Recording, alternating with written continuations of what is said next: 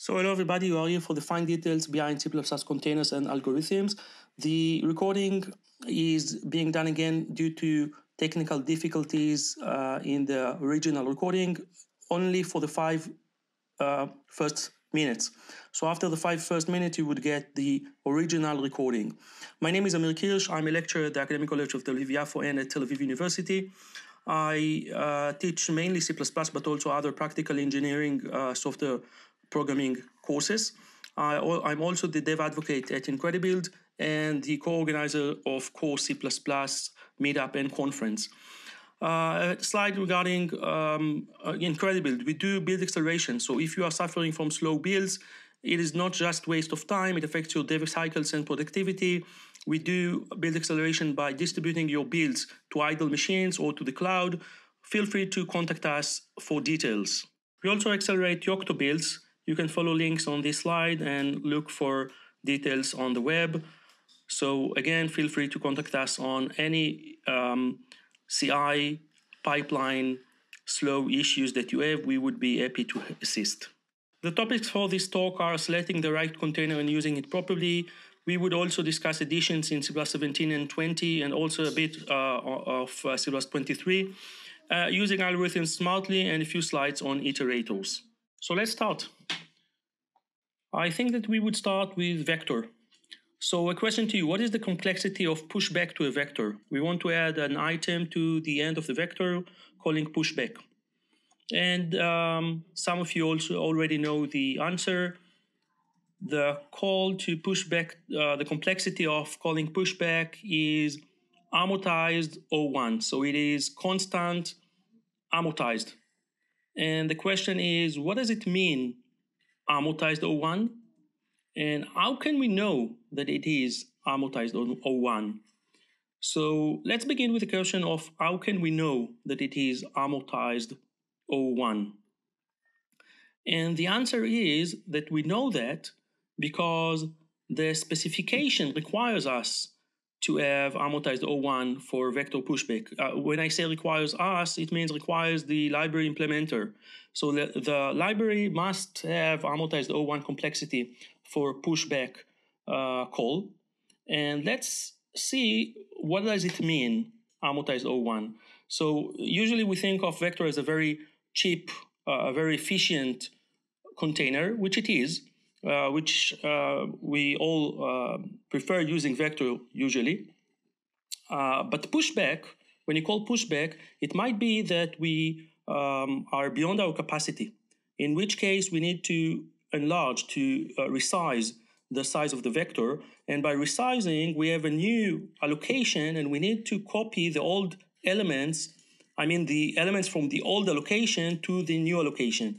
And if we have n elements in the old allocation, we copy n elements to the new allocation, which means a linear complexity, uh, o, o, of n, O n. Uh, now, so how can we come to O1? So amortized complexity means that we take a look not on a single call to pushback, not on a single call to the uh, thing that we are measuring or um, having the complexity, um, calculation. So we want to see what is the complexity of n calls to pushback. And when we do the math for n calls of pushback, we see that n calls would, would cost uh, on, so amortized uh, single call would be uh, constant. An important side note regarding uh, vector resizing. Uh, there are three options when we call uh, pushback and there is a need for resize or when we call resize. Uh, first, if the items are trivially copyable, then the vector just use uh, memcpy or, or std copy, uh, or in any case, uh, copies the memory, uh, not the elements, uh, uh, which is the elements, but without regarding each element separately. so copying as a block of memory. On the other hand, if the elements are not trivially copyable, then there is a need to copy them separately one by one in which case we can either move them or we can copy them. Uh, moving them might be problematic in case the move constructor of the elements might throw an exception, because then we might try to move uh, elements and we may succeed to move some of them, and then uh, an exception might be thrown moving the um, x element. and then we cannot move back those that were moved already because they also may throw an exception. So we end up with uh, some of the items in the new allocation and some in the in the old allocation, and we are not in a stable state. So even if we come back to the uh, user saying, "Okay, you got an exception," uh, he would not get the um, vector not with the old allocation and not with the new allocation because the elements are partially here and partially there.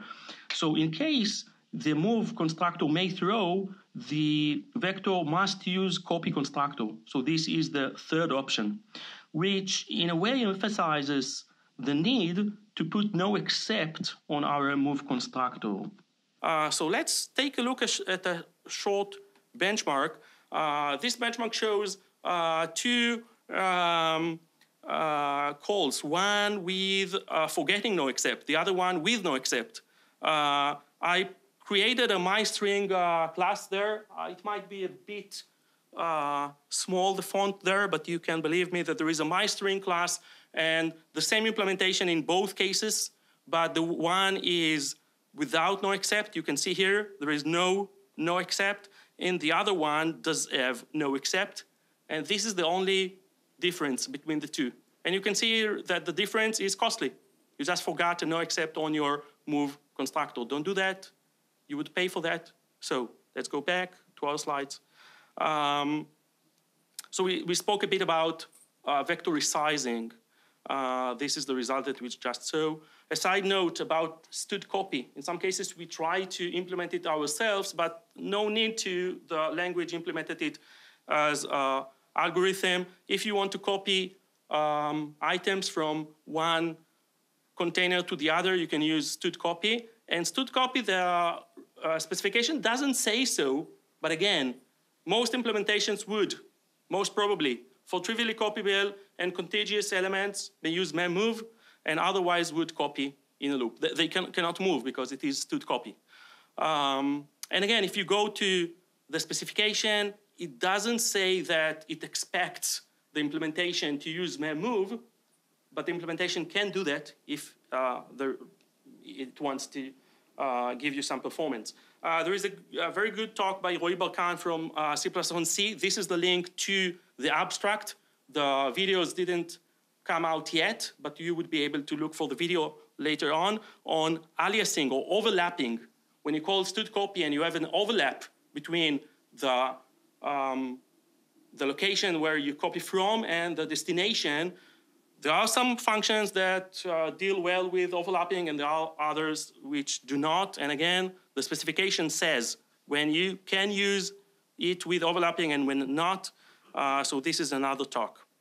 Uh, so the specification um, do um, mention the complexity requirements for many operations on containers, on algorithms. These are a few examples. So you can, you can read it actually in the spec let's let's just you know um, press on one of them. So this is the spec, and you can see that at a certain point you would see the word complexity. Um, so these are the requirements per, per uh, many things in the uh, on, on, operations on the container. It, it is a bit more complicated to read than CPP reference, which is also a bit complicated to read occasionally. Uh, but if you look for the word complexity, at some point you may find it, maybe at the end of the table. Um, so you would see that there is some requirement for complexity on something. And the specification says that in order for the implementers to be able to um, take it as a requirement, and for us users to know what to expect. Uh, if you want, you can read it in CPP reference again for the same operations. And usually this is something that we want to know. We want to know, oh, what would be the worst case? What is the average uh, complexity, etc. Uh, so again, we are after lunch, uh, and this is a question to you. What is the complexity of sorting a vector? What is the complexity of sorting a list? As written in the specification, what is your guess? Go for it. Yeah, it sounds like something that should be O uh, n log n. Uh, and indeed, this is the case um, based on something which is like quicksort or quick sort exactly. Uh, by the way, um, for some reason in the past, the specification said approximately uh, n log n. I think on list it still says approximately n log n, and in some, at some point it's, it uh, changed from std sort, used to say approximately n log n, and it changed to O n log n. The reason is that there are some uh, uh, algorithms that are near n log n, and uh, specification wanted to have the ability for the implementer to use other algorithms, but eventually they decided, well, there isn't any, uh, any real reason for using algorithm for sorting which is not n log n. Um, uh, so a question, if both are n log n for list and for vector, so we need to sort a list, we need to sort a vector. Is there any way, a better way maybe for sorting a list other than calling list sort? I mean, we have a list. We want to sort it. List has a function, sort. By the way, you cannot use std sort on a list because uh, it, it, expects a random access iterator. That's a very good uh, knowledge of the, of the material. Uh, it, it uh, expects a random access iterator, std sort. So vector is uh, okay for that, and list is not. Um, any idea how can we sort a list if not calling list sort? Well, I tell you, or I would tell you what uh, can be an approach. We can copy the list to a vector, then sort the vector, then copy back to a list. Any reason for doing that? Yes. It is more efficient. Uh, it is more efficient because vector is uh, uh, local, uh, so you get uh, cache locality. Um, this is the benchmark. You can later see the code itself. And of course, of course, we um, take into account the copying inside the code. I mean, we count for the two copies of from the list to the vector, sorting the vector, copying back, and it is still much uh, more efficient. Uh, you should remember that benchmarks are uh, dependent on the exact machine, the exact data set, which means that don't rely on benchmarks that you just saw in talk. Go do your benchmarks on your own data before getting a decision on, okay, I'm going to do that in my code. I'm getting back to my uh, work, and this is the first thing that I would do. No, benchmark, check. A question?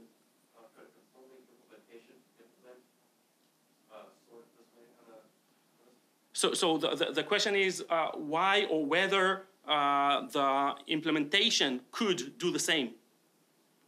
It might be, but it seems that it doesn't. I mean, I compiled it with, I think it is with uh, libstd C++, and I do see the difference, which means if it would do the same, uh, it would it would get the same uh, uh, performance.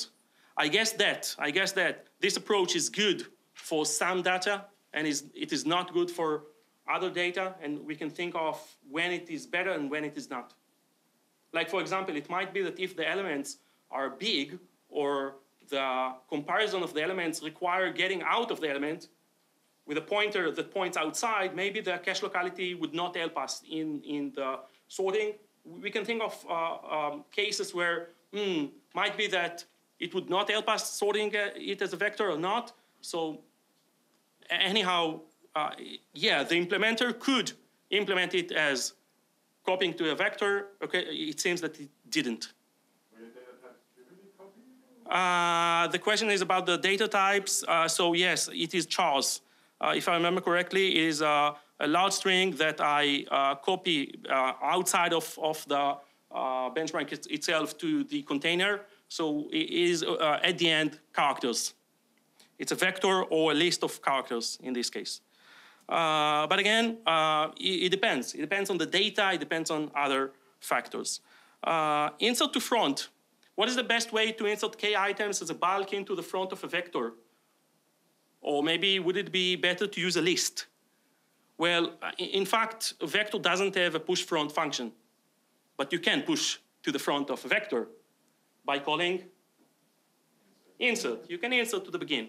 So if I insert to the begin, which means that I actually push front, um, suppose that I have to push front a few items. Would it be better to do that on a list? Seems so, because if I push it to the vector, I have to push the vector ahead. Um, is there any better way to push uh, several items into the beginning of the vector? So it is a bit tricky, uh, and the trick might be reverse the vector, then push back in opposite order, then reverse back. Oh, sounds insane, and yet this idea comes from a talk by Vladimir Vishnevsky, sorry for miss saying the name, from again C++ on Sea. Uh, again, the link points to the abstract. Uh, and I would just show you the benchmark. Push front uh, with a trick. And again, it depends on the data. But with the proper data, you would get uh, better performance with this trick. Not always, which means, again, you have to think what do you want to achieve. Uh, by the way, the push front on list is equally uh, perform, perform as, as the push front to the vector because building the container was part of the uh, benchmark. So building the list and building the vector of the list is a bit more uh, costly. Anyhow, these were the results. Um, I think that you all held that the same as std move doesn't move, which is not always the case. There is a std move that does move, right? But there is another one that doesn't move. The std move for rvalues, for a conversion to rvalue, doesn't really move. It's a utility. The std move in algorithm does move. And std remove doesn't remove. I think that might be that you heard about that. Uh, this, uh, this is a question, by the way, in Stack Overflow. Somebody uses std remove and says, I used std remove and I didn't get the expected result. Well, it says so in the spec, std remove overrides the removed elements with consecutive elements that should be kept. It then returns an iterator to the new end, which is still inside your container. Maybe if you actually want to erase, which most usually you would want, you should call erase after you call remove. So it is known as the erase remove idiom. And the idea is that you first uh, uh, copy the elements that you want on top, override th those that you want to remove, and then you just uh, top, you just uh, get rid of the rest of your container. It looks like that. Suppose that the original container was these numbers. I wanted to uh, remove all the nines. You can see that the nines are removed. Even though I do have one nine, uh, the third from the end. Why the third from the end is still there? Because there was no other element that could override it. I mean, there were three nines, at the beginning, I mean at the original container. Uh, the first two were overridden with other elements, and the last one, which is here, no one came to override it, and, and I just finished. I mean, there isn't any, and, and the return value is an iterator pointing to this line saying, well, this is the new end, or this should be the new end. It is still not the new end. The size of the container is still the same. And then you need to call erase if you actually want to erase them. It might be, that, by the way, that you do not want to call erase because maybe you just want to iterate of them and, and, and the old container is going to die anyhow in a moment.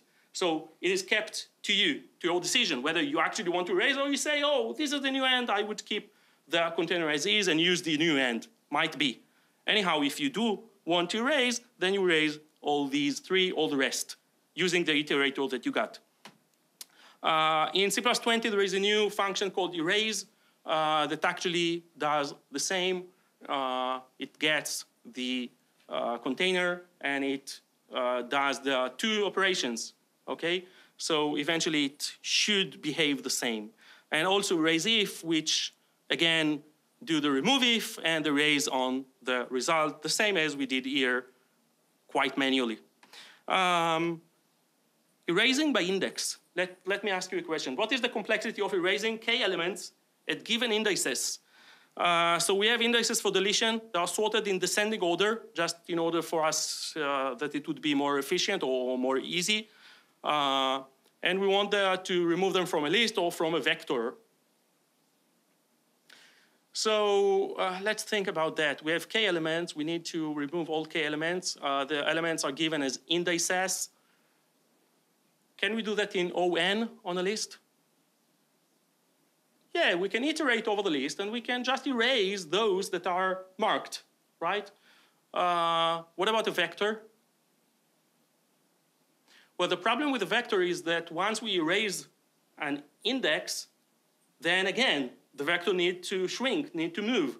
And if we do that on all k elements, it would be k of n. Might be that k is big. I don't know, k is a constant. We can ignore that. But anyhow, there is something costly.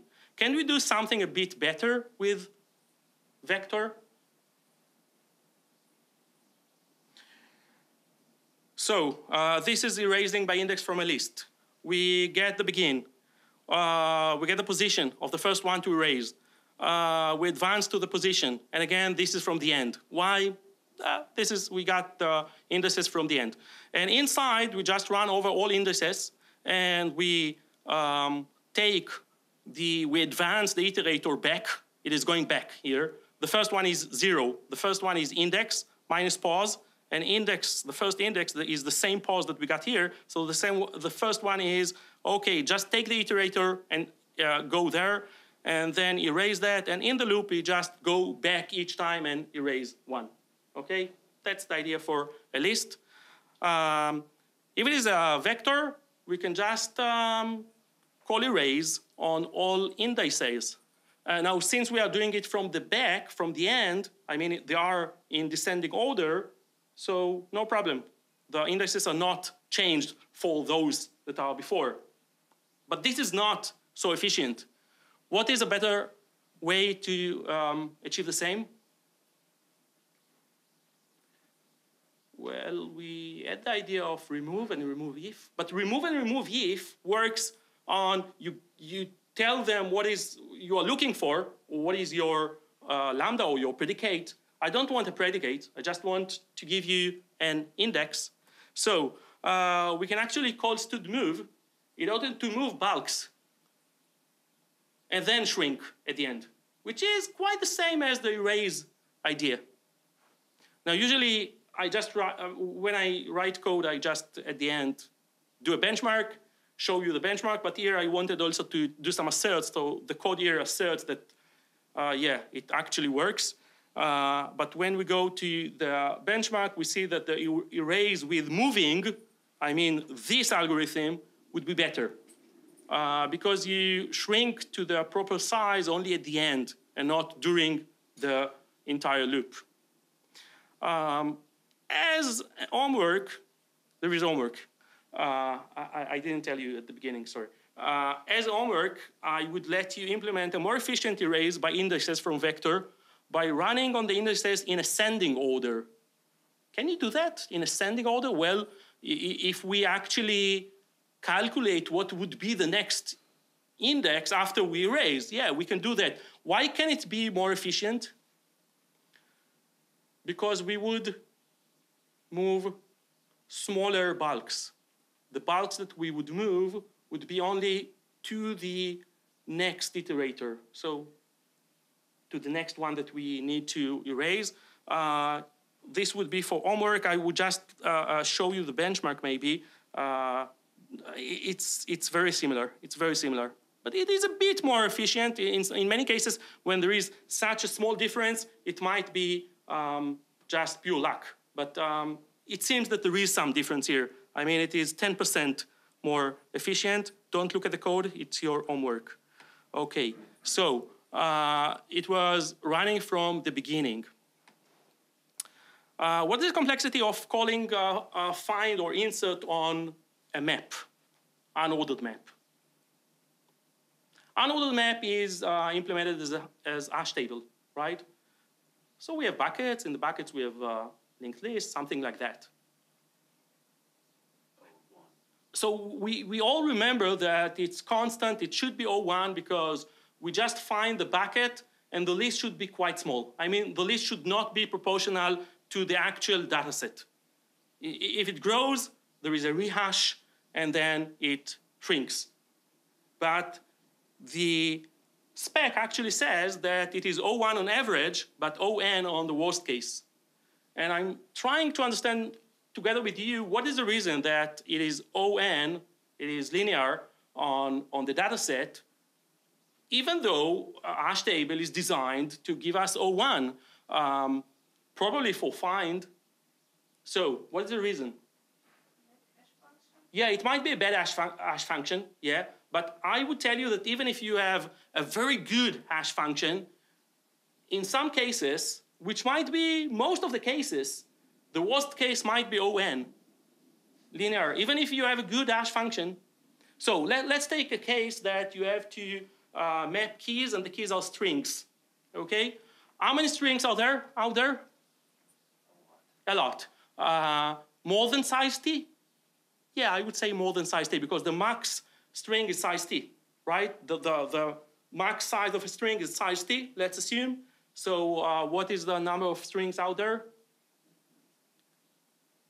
256 to the power of uh, size t, something like that. Maybe more if you are uh, on wide char. Anyhow, it is much bigger than size t. Now, eventually, you take your population. It is not that you are going to map all the strings out there. You are going to map some strings, but it might be that the mapping from a string to a size t value requires a function, yeah, it requires a function, that would, in some cases, maybe deliberate. Maybe it's, you know, an attack by someone that would take strings and would give you back the same hash code. I mean, you can find those strings that give you the same hash code. It might be not the strings that you are going to use, but yeah, the population is much bigger than the size t of the hash code. So the spec needs to say that you cannot implement a find which worst case is O1. The worst case might be not because of a bad hash function. Yeah, it might be a bad hash function, but it might be a very good hash function, and, and yet you got a pathological case where all the data just fell, or maybe it was deliberate, on the same hash value. By the way, to avoid such attacks, there are other algorithms to create um, a hash table with some kind of another hash function which would be harder to attack. Uh, beware of costly hash functions. In some cases, we believe or we think that the hash function is called only when you insert the value, the key, to the uh, hash table, to the unordered map, and this is not necessarily the case. There is code here and a question in Stack Overflow uh, that shows that in some cases there is some access calls, more than you would presume, to the hash function. And if your hash function is uh, costly, um, okay, you should consider that. What's wrong with this code?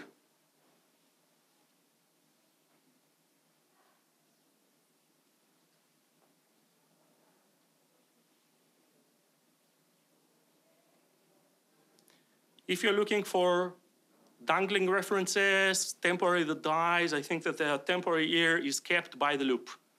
So we have a temporary vector, but it is being kept by the loop. All the char stars are still alive on the data segment. So we do have a valid vector of pairs, and we loop over them. Uh, it's C++ 17 structure binding, so we bind them by value to A and B.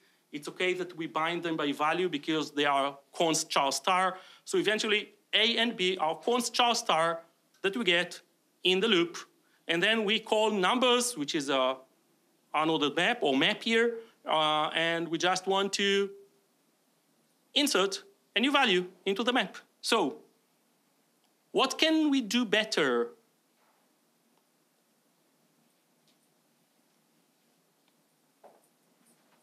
the code works. You actually populate the map with one pointing to uno, two pointing to duo, etc. Where the problem is that when you call to square brackets, square brackets means means um, insert or override.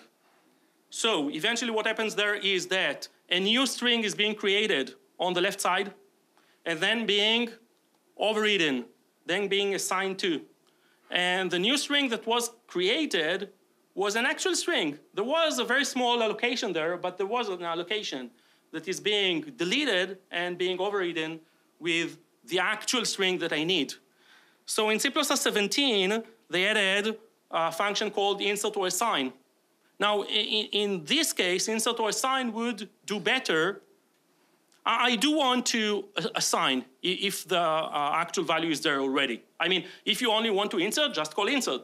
That's, that's the easiest way uh, in, in this case. But suppose that I do want to assign if the value, if the key is already there. Yeah, I want to override the value for the same key. Yes, but there is a better function in C++17, insert or assign. And there is a benchmark uh, for the same case. So it's not the exact same case. In order to show such a nice result, I actually created a key that in its constructor allocates a big string. I mean, I did something to be that would be a bit costly in the constructor of the key in order to have something like that. Otherwise, it would be very similar because the constructor of, of empty string is not so costly, but it is. It's not free. So yeah, if you want to assign, um, use insert or assign. If you just want to insert, use insert. And we have a question from David.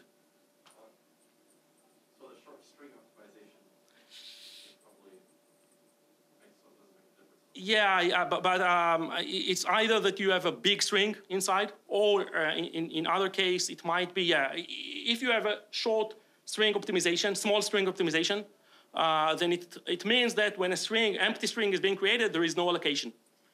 And then when, when it's being destructed, nothing to delete. So I created here some kind of another key which does have something in, in the constructor. So it's not the exact same uh, example that you see here, the benchmark is on some kind of a case where you do pay for the allocation of, or for the creation of the object that you are going to override, to assign to. Um, and most usually you know that it is a bad practice to create something, go to the constructor, and then assign to it. And this is, by the way, the reason that we use the constructor initialization list.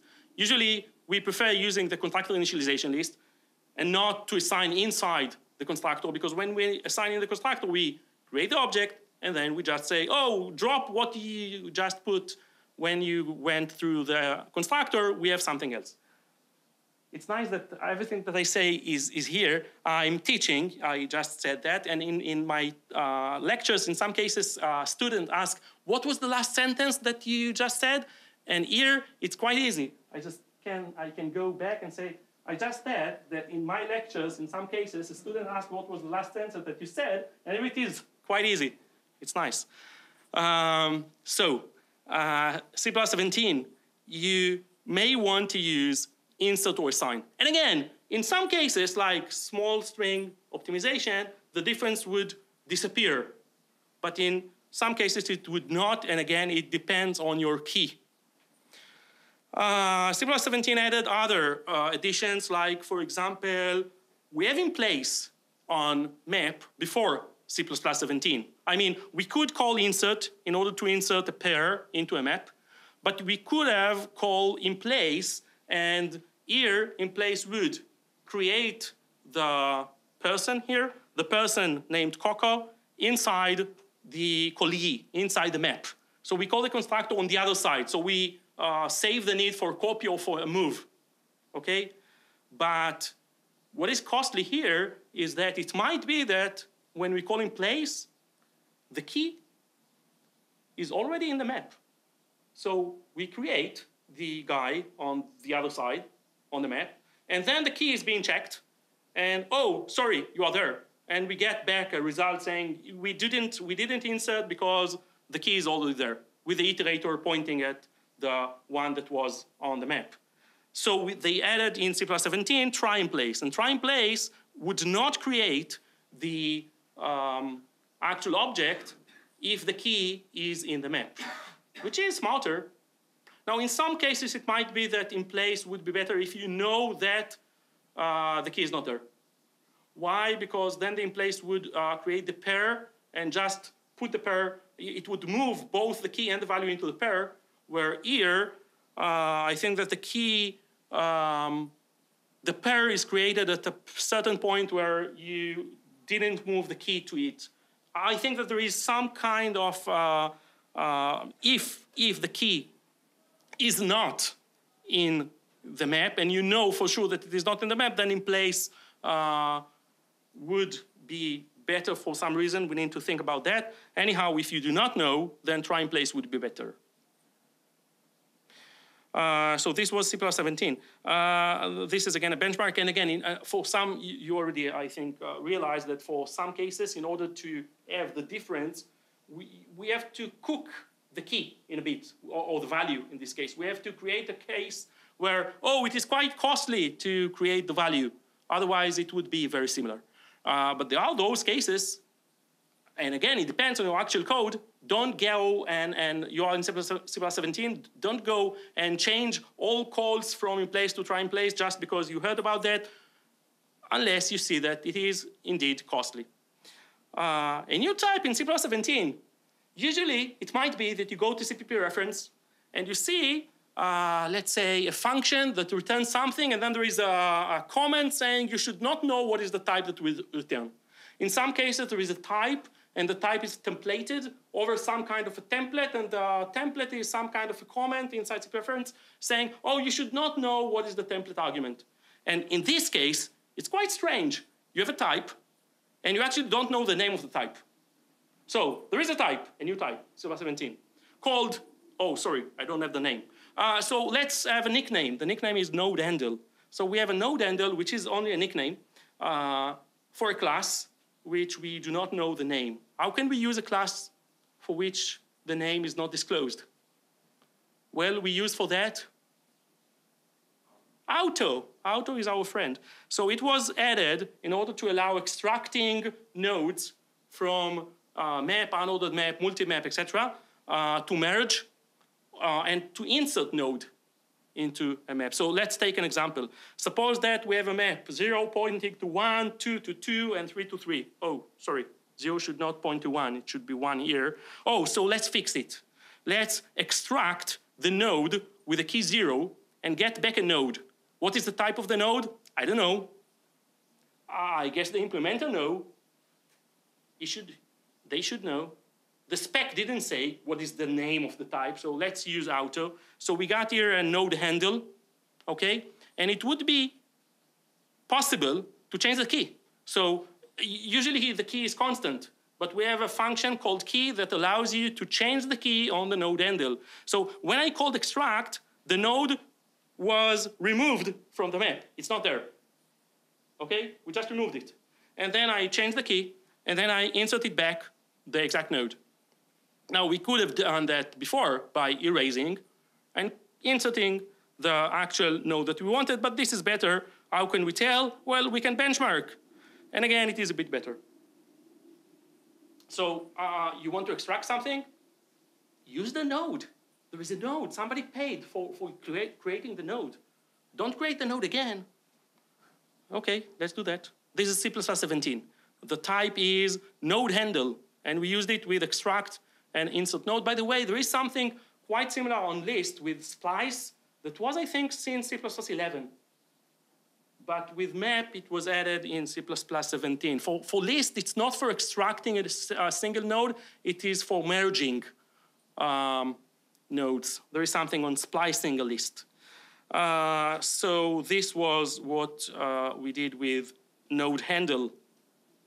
Um, other additions, there is a, a, possibility to try emplace with a, a hint.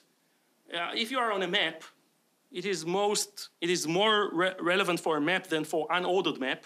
But if you are on a map and you know the position where you want to add a certain key, because you can imagine the structure of the map. It's a binary tree and you just created that. So you can give a hint to the emplace and call try emplace and give a hint, okay? Don't do that. Or prefer to make sure that it actually helps because it might be more costly than beneficial. Uh, if you give a wrong hint, it would go to the correct place. It checks your hint, but then it would traverse over the map on locations where it shouldn't. And then eventually, oh, this is the place, you just uh, told me the wrong direction, and you pay for that. If you give the right hint, it may help, but it is very small. So most cases might be more harmful than beneficial. There is a benchmark here showing that even if you give the right hint, it is not so uh, beneficial. If you give the wrong hint, it's bad. Um, views. Well, views were added in C++17 with string view and then in ranges in C++20. The idea of views is quite useful. I need to speak with some object. I don't need a copy, and I even don't want to move it, either because I just want you to continue holding that. Maybe it's an L value, but I just need to iterate over that to read something, maybe to change something. I don't want a copy. I can even take a char star or string and view both the same way. So I would not dive into how to use views, but you should view how to use views. Take a look for uh, a talk. Um, views would make your code more efficient, uh, where in the past maybe you got const string ref and then maybe copied or uh, or maybe you got a char star being sent to a const string ref and the char star created a new string. You don't need a new string, you just want to iterate over characters. So getting a string view would be more efficient. Um, so you should um, take a look at views. Other data structures. So um, we have boost flat map, and in C++23, uh, we should get flat map into the language. And flat map is quite wise. Uh, it has a vector of keys. It might be other data structure, but eventually it would. Uh, the default is a vector of keys and vector of values. And uh, lookup is logarithmic. It's a binary search. The keys are sorted. And the idea is that you preserve data locality. And data locality is quite important. So we still don't have it in the language, but we would have uh, in, in many cases where you actually uh, iterate over keys or iterate over values. In a, in, in a way, it, it resembles the idea of, um, of structure of arrays instead of array of structures, if, if you know the uh, comparison. Uh, if you want data locality and you loop over the same field on many objects, it might be more efficient to have all fields in the same vector. So there is a notion of, do you prefer vector of structures or struct of vectors? And here, I prefer, if I want to traverse over the keys or over the values, to have them in a contiguous uh, data structure. Um, two calls to std algorithm. What is the cost of two calls to, to I mean, looping twice on a data set compared to having one loop doing the same two operations? I mean, there is one loop doing two operations or two loops, each one doing a single operation. Which is more, where is the complexity higher or they share the same complexity? One loop two operations in the loop, or two loops, each one doing a single operation. It's not a tricky question. Well, both cases do n times do some operation on, on all n items and do it twice. But uh, 2n, if the time is 2n, then the big O is n because we ignore the constant. So does it mean that uh, they are actually the same? Well, you know that the complexity-wise, even if two things are the same, it doesn't mean that practically that they would cost the same, that they would have the same performance. What is the advantage of a single loop? Cache locality. We have the data. We work on the same data instead of running on that twice. So uh, you can see again, I would not go through these uh, benchmarks, but uh, we calculate here two things. One's with a list, the other uh, example on a vector and data locality, cache locality wins, which means that in some cases, we have algorithm and we want to use two algorithms, but we need two algorithms, which is quite problematic because eventually we would prefer one loop because then we would have cache locality. And then comes to our help ranges. So ranges would help us in a way because if you use ranges, there is an idea of some laziness at the, at the behind. I would not go to this code example, but you should, for example, go to Dvir uh, Yitzchaki um, talk on ranges. This one is on the web, or any other talk about ranges. You can have a few um, operations, one after the other, and then only the last one would run the loop, which is what we wanted but still we're using algorithms. Okay, so this is quite wise. And for that, you need C++20 or the ranges uh, TS. Uh, parallel algorithms, C++17 added parallel algorithms. Uh, I would just say that if you want to use parallel algorithms, do a benchmark because in some cases it would just hurt performance. Um, though in many cases it may help. Uh, you can use a parallel algorithm for, this was about the parallel algorithm and the execution policy. And again, the talk in uh, C++C by Vladimir Vishnevsky. And a very good talk that covered much more than I cover here with many examples. Um, and other resources on that. Um, there is a difference between execution par, which is for parallel, and execution unseq, which is for a single thread uh, asking for vectorization. Uh, if you ask for parallelism for execution par, and uh, of course you need the library to support that, then it means that you are using, you are going to use, or you're asking to use multiple threads utilizing a few CPU cores. It might be that you need these cores for other processes. It might be that you need these cores for other threads running in your application. So it might be that it is good for your, for your algorithm, but your process needs these CPUs for other things.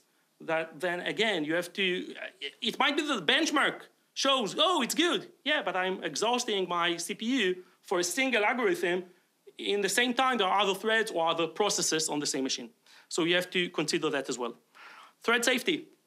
Always check thread safety. C plus 11, before C plus 11, the spec didn't speak about concurrency at all.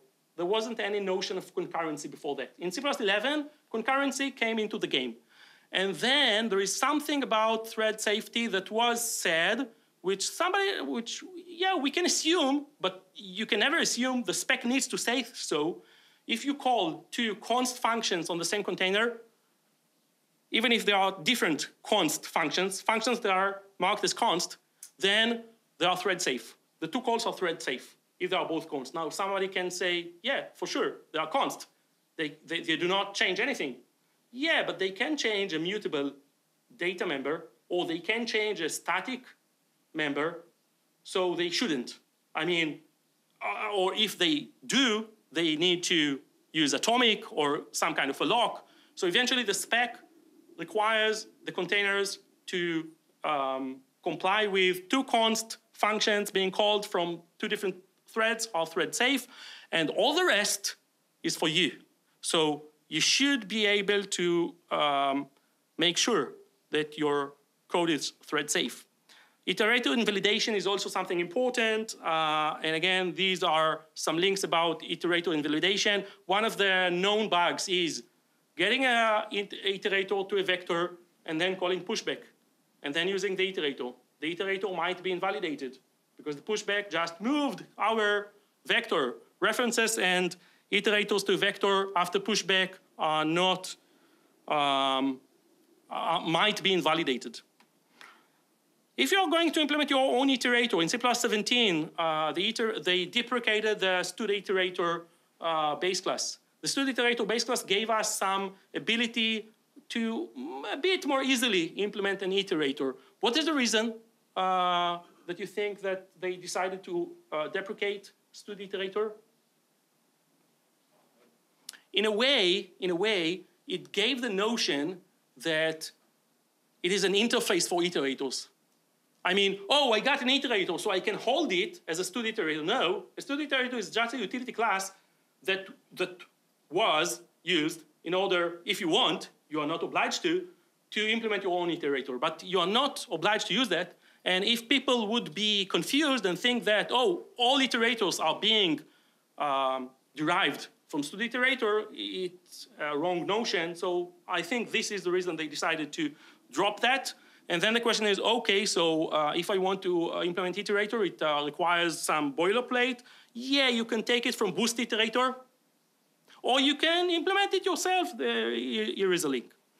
Another question that we uh, may ask is, uh, how is reverse iterator being implemented? So this is iterator, the begin uh, points to the first one, the end to the end. Um, would reverse iterator point, the begin would point to the actual last one, the legitimate one, and the end would point to one before the begin. What do you say? Is it a good uh, implementation? And the answer is no, it is not, because you cannot point to one before the begin.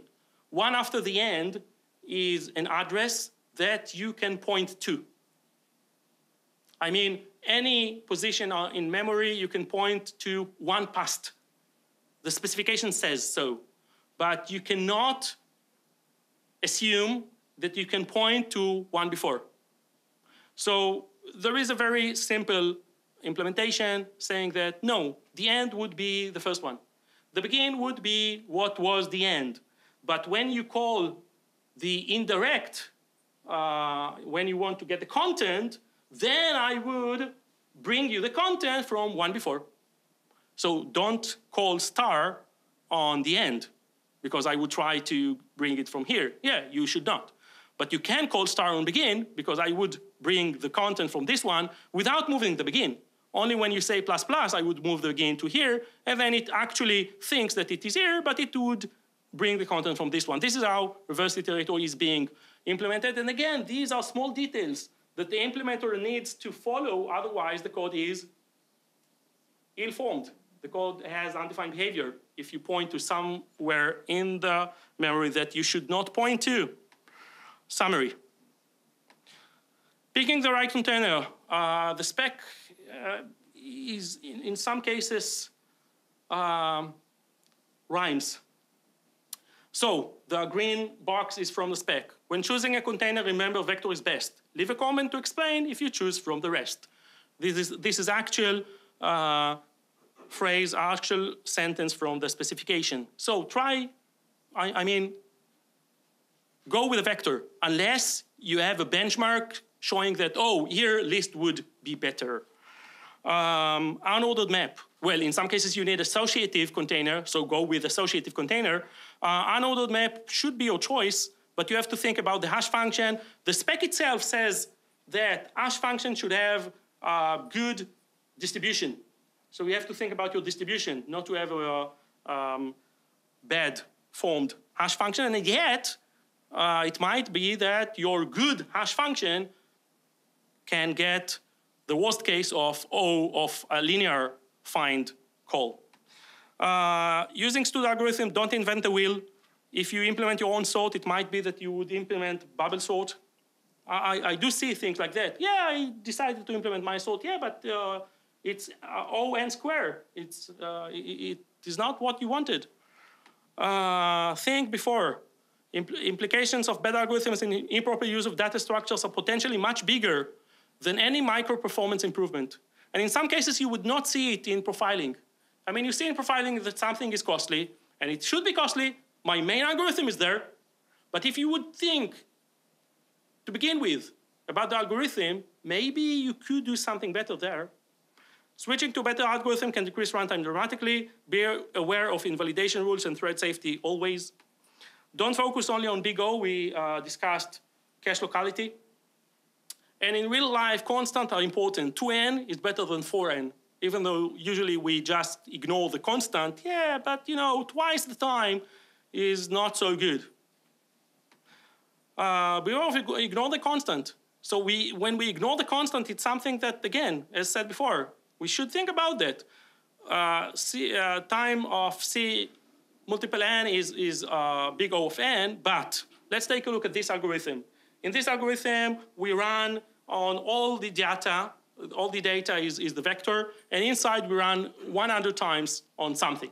So eventually, the complexity is 100n, but 100n is big O of n, right? But we still have the 100 there. And if we could have another algorithm which would be n log n. Would you prefer n log n or this one? I mean, this, this one is on. Which is better? I have another one which is n log n, or I have this one which is 100n. 100n is, is on. Well, eventually n log n, what is the biggest size of log n? Uh, well, it depends on n. What is the biggest size of n, for example, on a vector? Size t. What is log n on size t? 64. 64 is less than 100. Again, it depends on the architecture, etc.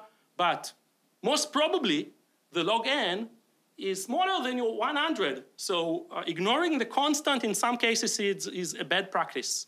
I mean, yeah, you should think about the big O, but then think also about the constant. Uh, you may re reduce latency with uh, trade-offs like prior setup. We discussed that. Copy to a vector, sort the vector. It's a prior setup, you pay for that, yes, but then the operation is more efficient.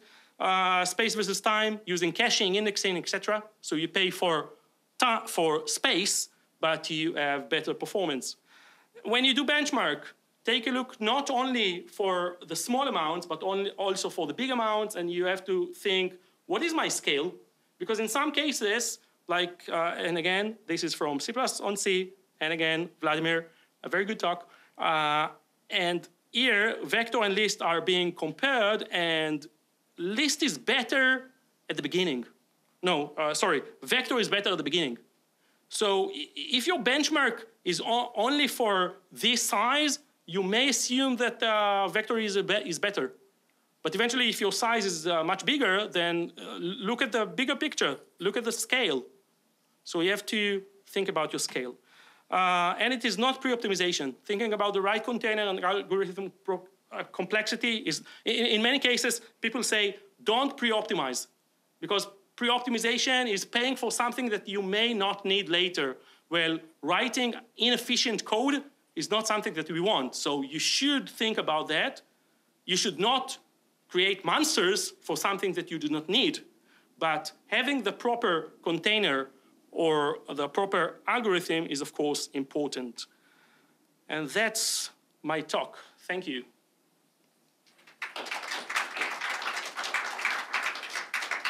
I think that I have time for one question or maybe two. But uh, I can also take questions offline if you feel that you prefer that way. Yeah, a question, please. If your data is highly variable, have you ever tried changing the container that you're using at runtime? Mm.